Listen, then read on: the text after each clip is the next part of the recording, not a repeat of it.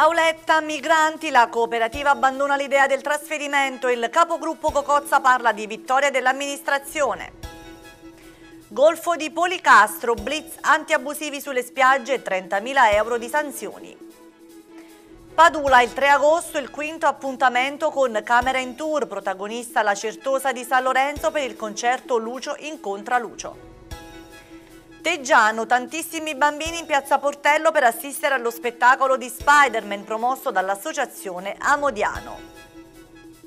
Caselle in Pittari, divertimento e spettacolo per la seconda edizione della Cheap Crazy Rice.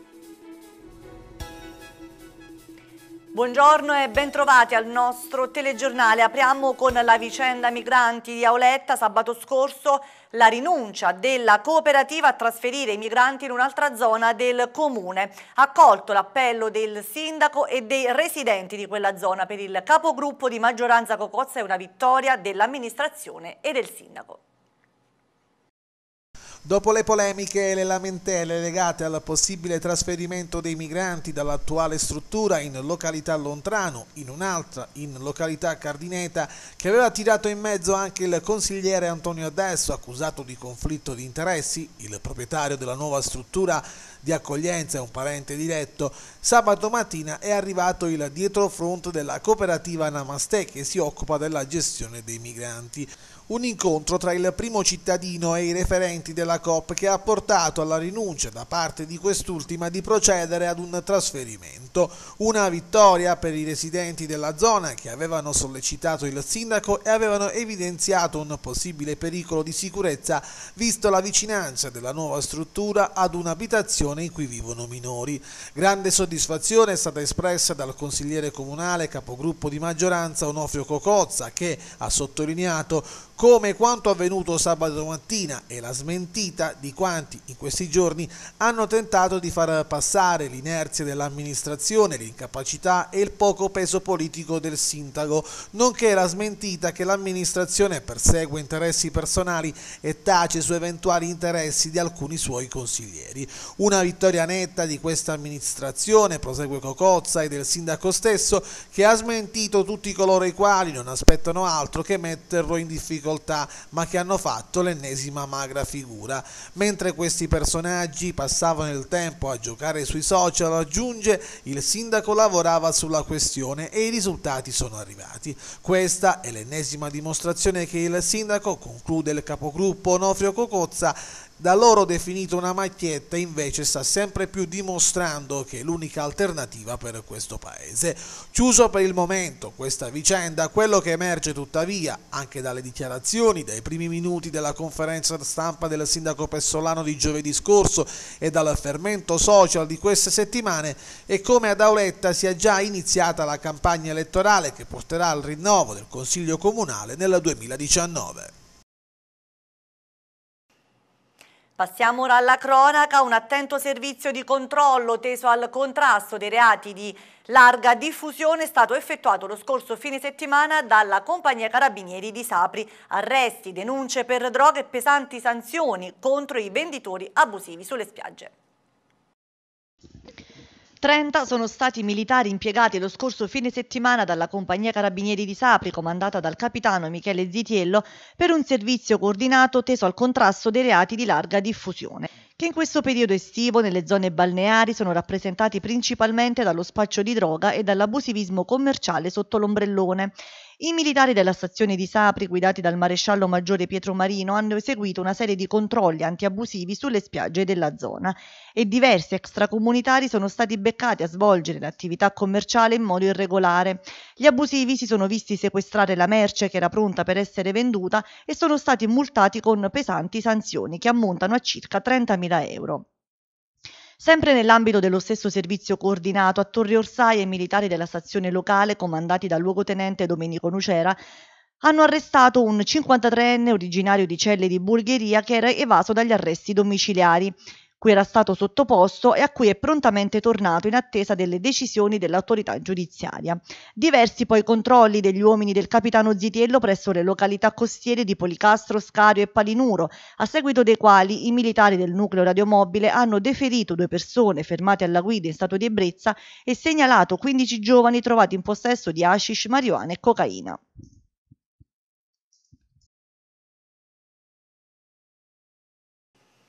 Ancora cronaca, un cortocircuito avvenuto probabilmente nel quadro elettrico dell'attività commerciale sarebbe all'origine dell'incendio divampato sabato pomeriggio in un negozio tessile a Capaccio Scalo. Vediamo i dettagli.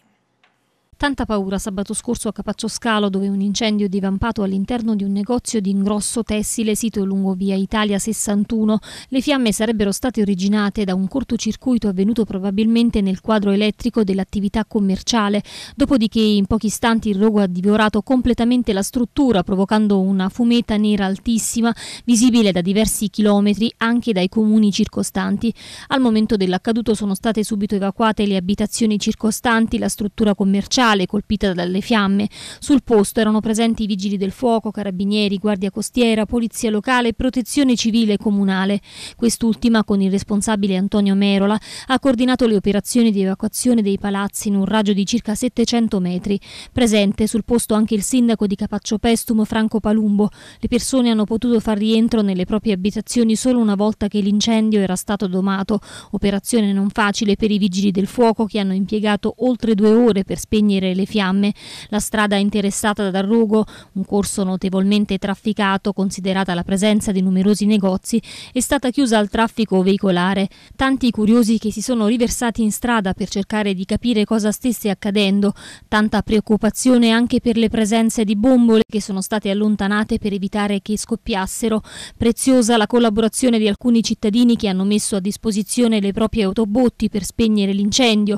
Ingenti invece i danni provocati provocati dal fuoco. Infatti, oltre ad essere stati distrutti il negozio tessile e il vicino deposito della ferramenta, anche l'intero palazzo ha subito dei danni. Fortunatamente non si sono però registrati feriti, ma il fumo ha provocato in alcune persone presenti sul posto delle intossicazioni di lieve entità soccorse poi dai volontari della Croce Rossa. Nelle prossime ore il personale dell'ARPAC, afferma il consigliere comunale con delega al monitoraggio ambientale Giovanni Piano della città di Capaccio Pestum, effettuerà i dovuti accertamenti ambientali al fine di determinare eventuali criticità. Gli esiti saranno quindi comunicati all'ASLA competente per eventuali e conseguenziali provvedimenti. Attendiamo i risultati senza generare allarmismi, fanno sapere da Palazzo di Città, che in questa fase potrebbero risultare solamente controproducenti. Colgo inoltre l'occasione, fa sapere il consigliere Giovanni Piano, anche per esprimere la massima solidarietà a nome mio e di tutta l'amministrazione comunale alle famiglie colpite dall'incendio. Gemma D'Angelo, l'87enne, rimasta vittima dell'incendio dello scorso 18 luglio a Camerota, è morta. Al momento dell'incendio causato da un cortocircuito in casa c'erano l'87enne, il figlio, la nipote e la nuora Rosa accusati deceduta dopo tre giorni. Gemma D'Angelo era al centro grandi ustionati dell'ospedale Cardarelli di Napoli. I funerali si terranno domani, martedì 31 luglio a Camerota. Cambiamo argomento. Domani a Sala Consilina si terrà una seduta di consiglio comunale, sette i punti all'ordine del giorno, tra cui la variazione di bilancio di, al bilancio di previsione finanziario, la modifica al piano triennale delle opere pubbliche e la candidatura della nuova sede del centro operativo comunale. Si terrà domani sera, mercoledì 31 luglio alle 19, in sessione straordinaria, la seduta pubblica del Consiglio Comunale a Sala Consilina.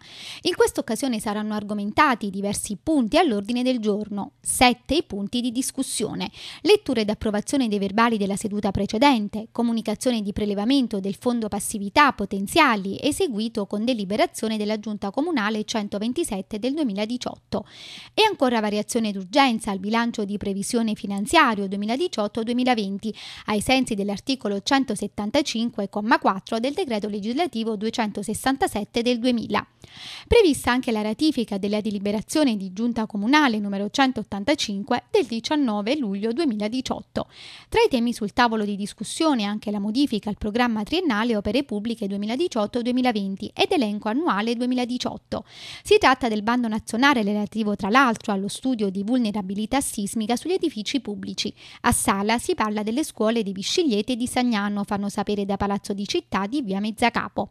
Domani sera si discuterà anche del riconoscimento dei debiti fuori bilancio ex articolo 174 del decreto legislativo 267 del 2000, dell'assestamento generale di bilancio e salvaguardia degli equilibri per l'esercizio 2018. Infine, come ultimo punto, l'Assise riunita parlerà dell'aggiornamento al piano di protezione civile approvato con delibera del Consiglio Comunale numero 40 del 30 novembre 2015.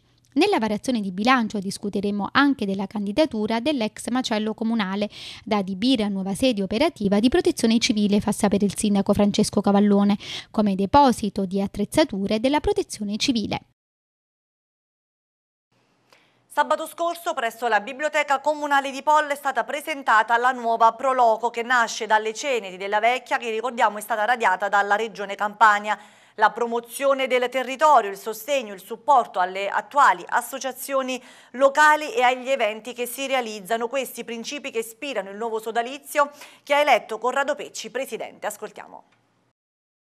Ringrazio tutti per la carica che mi è stata affidata dai nuovi consiglieri e cerchiamo di fare qualcosa per il nostro amato paese. La Prologo diciamo, è un'associazione eh, che nasce in tempi addietro, al di là delle persone che vanno a costituire volta per volta questa associazione, è un'organizzazizione importante che dovrà prendersi cura della promozione del territorio.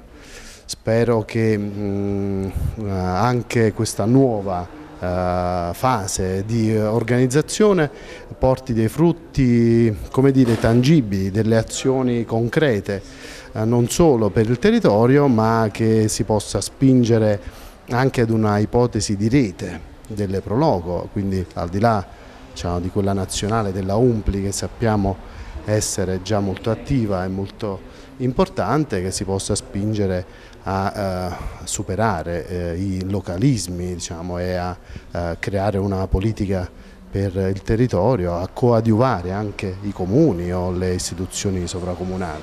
Credo sia importante cercare di aprire ora questa nuova fase ad una dire, integrazione anche a livello comunale considerando le tante associazioni, le tante iniziative, cercando di dare uno stimolo, una um, un supporto, ecco, se possibile, a tutto quello che già accade, a tutto quello che già avviene senza fretta cercare di eh, insieme eh, creare un percorso insieme al Comune, visto che la Prologo diciamo, rappresenta dal momento della sua istituzione una sorta di appendice dell'istituzione comunale. Venerdì 3 agosto a Padula, nella spettacolare Certosa di San Lorenzo, un grande concerto realizzato con la regia di Sebastiano Somma. Si tratta di un appuntamento che rientra negli eventi promossi dalla Camera di Commercio di Salerno con il supporto del Parco Nazionale del Cilento Vallo di Diano e Alburni dal titolo Camera in Tour e che racconta la musica dei due grandi e immortali lucio della musica italiana. Le canzoni di Lucio Battisti e Lucio Dalla. Venerdì 3 agosto a partire dalle ore 21 saranno presentate da altri rinomati musicisti italiani per un concerto di grande spessore. Un evento di assoluta importanza che vuole essere anche un segnale di forte rilancio per il territorio nel suo complesso. Questa mattina la conferenza stampa di presentazione. Ascoltiamo le interviste che abbiamo realizzato. Sono sei eventi che come Camera Commercio abbiamo pensato di offrire ai turisti di tutta la, la provincia per rendere più, più, piacevole il soggiorno. Sono sei eventi, il quarto lo, si terrà qui alla Certosa di Padula, crediamo che la Certosa di Padula sia un patrimonio del nostro territorio che ci consentirà sicuramente di poter portare avanti un, un discorso progettuale sul, sul turismo che quest'anno è in forte incremento e crediamo che grazie alla Certosa e tante altre mh, situazioni come questa potremo sicuramente incrementare per gli anni futuri. Credo che il parco che ci ha tenuto tanto a far sì che questa manifestazione la svolgessimo qui sul territorio sta facendo veramente tanto per, per, per il nostro territorio. Cosa fare? Sicuramente cercare di, di, investire ancora di più nel turismo, cercare di dare un'ospitalità quanto più possibile piacevole e confortevole all'ospite. Poi tante cose non dipendono da noi ma dipendono da, tante, da, tutte le istituzioni che insieme devono parlare perché crediamo che solo se si fa rete, solo se si, crea, si creano delle sinergie si potrà portare avanti un'idea un di turismo favorevole e vincente. Presidente Pellegrino quando gli è stata prospettata l'ipotesi di collaborare alla realizzazione di questo evento l'ha sposato in maniera, eh, l'ha fatto subito sua l'iniziativa e, e, con grande entusiasmo ha partecipato e ha collaborato appunto alla sua realizzazione. Naturalmente è profondo tutto il suo impegno sia alle SU sia lui che tutto il consiglio direttivo in diverse azioni di valorizzazione per cui nel momento in cui eh, è stata eh, ipotizzata eh, l'evento qui in, presso la Certosa di Padula eh, sicuramente l'ha ritenuto meritevole di, della sua realizzazione. È un evento importante che si unisce ai tanti eventi di promozione e di valorizzazione che l'amministrazione comunale di, di Padula sta portando avanti. Ringrazio anche il Parco Nazionale del Cilento, Vallodidiano e Alburni che collabora all'evento insieme alla Camera di Commercio per valorizzare sempre di più la Certosa che dal 1998 è patrimonio patrimonio mondiale dell'umanità. Eh, lo spettacolo di venerdì 3 è particolarmente importante perché vedrà la regia di Sebastiano Somma, un nome importante a livello anche internazionale e quindi eh, auspico una rete sempre più importante eh, tra i comuni, tra gli enti e tra tutti coloro che hanno a cuore la, la valorizzazione di questo immenso patrimonio. Ci fermiamo per qualche minuto di pubblicità. Bentornati in studio. Sabato scorso a Maratea, ospite d'onore delle giornate del cinema Lucano, la grande diva Sofia Loren. Sono stati in pochi a poter godere del privilegio di vederla da vicino, tra questi il maestro pasticcere Giuseppe Maniglia. La grande diva del cinema Sofia Loren è tornata nel sud Italia, poco distante dalla sua Napoli e precisamente a Maratea, dove l'amministrazione comunale le ha conferito la cittadinanza onoraria in occasione delle giornate del cinema lucano. Tutta Maratea e aree limitrofe pronte ad accogliere la diva tra le più grandi star del cinema mondiale, ma in pochi hanno avuto il privilegio di starle accanto e di poterla ammirare da vicino. E tra questi pochissimi fortunati anche il maestro pasticcere di Montesano Giuseppe Maniglia, titolare della pasticceria Orchidea a cui è stata concessa la possibilità di regalare alla Sofia Nazionale una delle sue squisite torte. Ad aver regalato un'altra golosità è stato anche il maestro gelataio di Maratea Emilio Pansardi, titolare della gelateria Pansardi di Porto di Maratea, che ha donato all'attrice un gelato a forma di rossetto. Giuseppe Maniglia, tra i più rinomati maestri pasticceri italiani, ha voluto invece omaggiare la più grande attrice del cinema internazionale con una delle sue specialità assolute, la torta rosemary, che mette insieme, creando un gusto delizioso, il cioccolato bianco e il pistacchio. Un regalo speciale che Sofia Loren, pur non concedendosi a molti durante le giornate del cinema lucano, ha voluto comunque ricevere personalmente, consentendo così ai maestri Maniglia e Pansardi di portarle direttamente direttamente sul palco i loro doni. Due regali che si sono aggiunti al conferimento della cittadinanza onoraria e al premio alla carriera che gli organizzatori delle giornate del cinema lucano hanno voluto quest'anno riconoscere a Sofia Loren, tornata a Maratea, dove aveva girato alcune scene del film C'era una volta, ambientato nella Certosa di San Lorenzo a Padula. Sulle tracce di Filippo, una passeggiata nel centro storico di Montesano sulla Marcellana, animata dagli attori della compagnia teatrale Alta Quota che hanno raccontato momenti della vita quotidiana di Filippo Gagliardi e dei luoghi della sua Montesano. L'appuntamento ha preso il via sabato pomeriggio alle ore 18 ed è stato replicato ieri, lo sarà oggi dopo l'arrivo di Filippo in Cadillac in Piazza Gagliardi. Gli spettatori sono chiamati a seguire i personaggi, i ricordi e i luoghi della vita di Don Felipe, un racconto tra leggenda e realtà di uno dei personaggi più famosi dell'Italia degli anni 50 e 60. Sì, infatti per me è un onore aver trascritto, preso dal libro di Felice con grande orgoglio eh, tanto è vero abbiamo dato un, un taglio nuovo e con una nuova denominazione che è un sogno, un viaggio, un ritorno. Il sogno tratta del sogno che questo Don Filippo Gagliardi aveva da bambino e quindi lui sognava sempre di, di viaggiare, praticamente di liberarsi dalle catene della povertà che attanagliavano in quel momento, in quel periodo storico tutta l'Italia e anche Montesano. E quindi lui aveva questo desiderio e noi lo abbiamo estrapolato, quindi partendo dal sogno e che non si è mai dimenticato del suo paese. Quindi per me è un orgoglio ancora maggiore proprio ricordare questo grande personaggio che ha fatto così tante opere per il nostro paese. E quindi noi da, da un paio d'anni abbiamo cominciato a lavorare su questa commedia con un gruppo di attori, di amici. Mi sono fatto l'idea che parecchi giovani vanno, sono tutt'oggi emigranti in questo paese e qui si parla sempre di, di storia degli, dei Cistari, degli Abate Marco, dei Cirbasi, però la storia vivente, la favola è Don Filippo. Non lasciamo stare, è un sogno anche per i ragazzi, perché lui è partito dal nulla ed è tornato con una fortuna ai posteri l'ardua sentenza se si è saputo amministrare o no.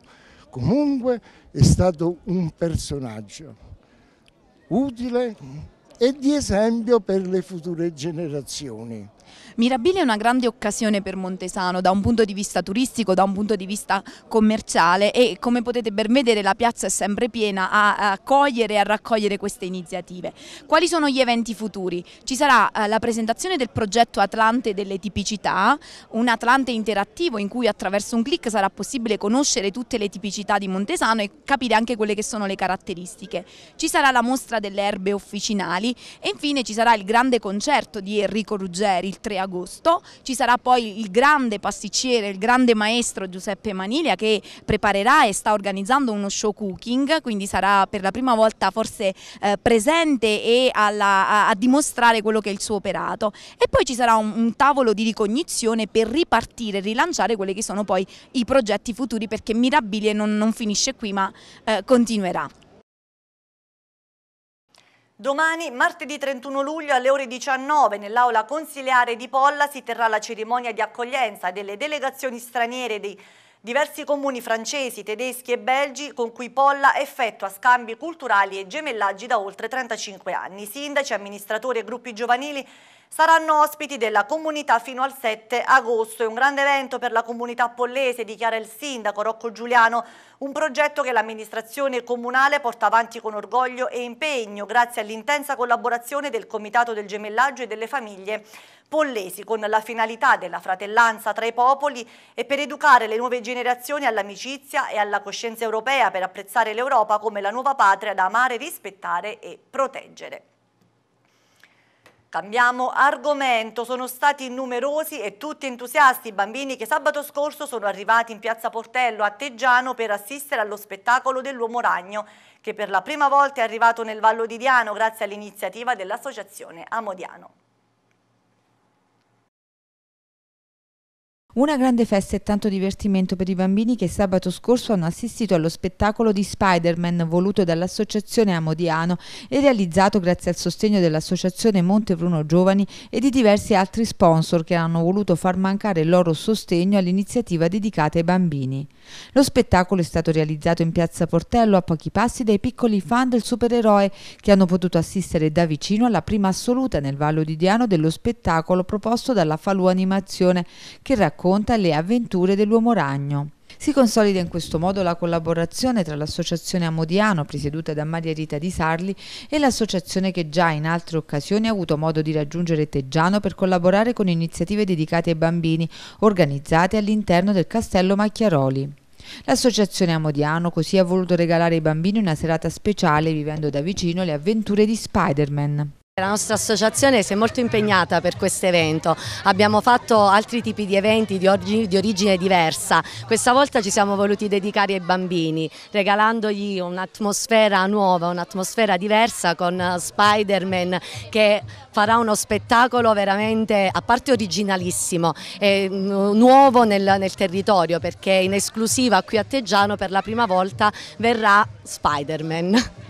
A rendere possibile la serata sono stati in particolare gli sponsor e l'associazione Monte Bruno Giovani, rappresentata dal presidente Antonio Mastrandrea, che ha ricordato l'impegno prima di tutto della Banca Monte Bruno a regalare momenti di serenità ai bambini per aiutarli a crescere sani ed equilibrati. È bello essere qui stasera soprattutto perché ci sono tanti, tanti bambini che si stanno, si stanno divertendo. È il, lo scopo anche della Montepruno Baby che poi è un club della, della nostra associazione Montepruno Giovani. È bello vedere tanta, tanta, allegria, tanta felicità, soprattutto tanto divertimento anche perché il personaggio comunque attira, attira tanti bambini. È lo scopo della nostra associazione che grazie al supporto della banca riesce sempre a, a creare attività sul territorio, attività che sono anche di natura ludica come quella di stasera. Per noi è un piacere oltretutto collaborare con, con questa associazione che oltretutto è un'associazione composta da altri giovani e quindi diciamo è un, è un connubio abbastanza interessante quello che stasera riusciamo a promuovere qui a Teggiano. Grande spettacolo e puro divertimento per la seconda edizione della Chip Crazy Rice, la corsa delle carrette organizzata dall'associazione Locos, è andata in scena ieri a Caselle in Pittari. Una manifestazione iniziata al mattino con le prove libere, poi la pausa pranzo. La pioggia del primo pomeriggio ha allarmato gli organizzatori, ma alle 17.30 regolarmente è iniziata la competizione. 11 carrette in gara e non sono mancati piccoli incidenti senza però gravi conseguenze. Lo spettacolo è stato inframmezzato dalla musica dell'Assassin Funky Street Band. In serata il divertimento è proseguito con la gara Extreme con 5 carrette messe a disposizione dell'associazione che hanno permesso di provare l'emozione della chip Crazy Rice. Ascoltiamo le interviste che abbiamo realizzato. Si è conclusa con un grandissimo successo questa seconda edizione della Chip Crazy Race. A Casella in Pittari è andata in scena la corsa delle carrette che ha visto due momenti al mattino, state, ci sono state le prove libere, al pomeriggio la gara vera e propria con il successo della carretta guidata dal pilota di Palmi, ovvero Felice ehm, La Rocca, con il tempo di 1.49,71, un tempo che visto anche il tracciato allungato di diverse centinaia di metri rispetto allo scorso anno rappresenta un vero e proprio record per questa manifestazione.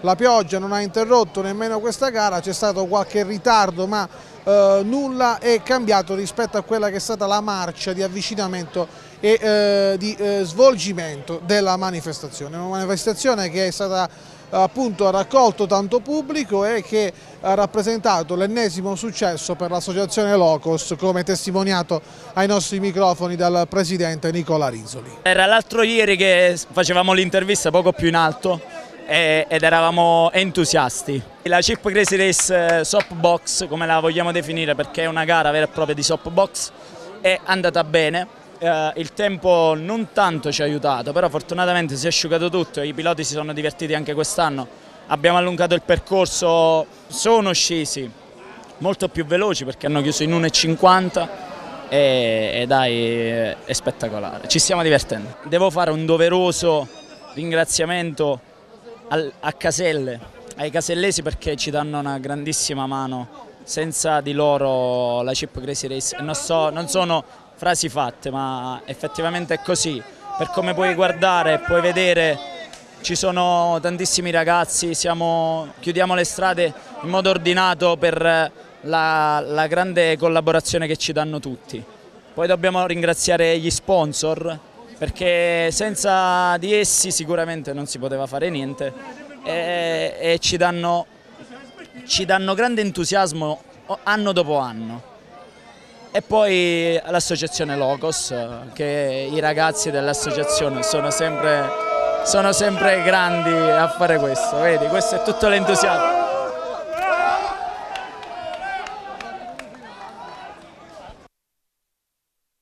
In serata, dopo lo spettacolo del cabarettista, c'è stata poi la versione extreme, ovvero le carrette guidate da semplici appassionati giù in discesa fino ad arrivare alla piazza principale del paese per la conclusione di questa seconda edizione della Chip Crazy Race che sicuramente avrà una sua terza edizione il prossimo anno.